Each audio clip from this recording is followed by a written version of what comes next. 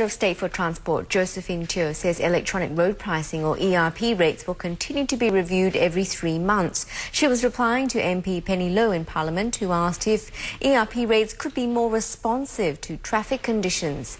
Mrs. Teo says ERP manages congestion by influencing driving behaviour. Rates need to be fixed for a certain period for motorists to plan their routes.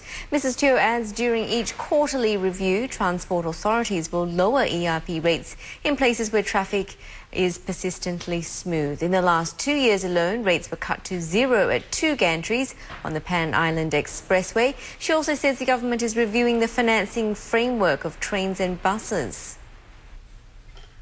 Our strategies must serve us well even beyond the next five years, and therefore, we will also review the Land Transport Master Plan, which was put out four years ago. Over the next year or so, we will engage key stakeholders and invite ideas from the public to develop an updated master plan to serve as our roadmap for the next 10 to 15 years.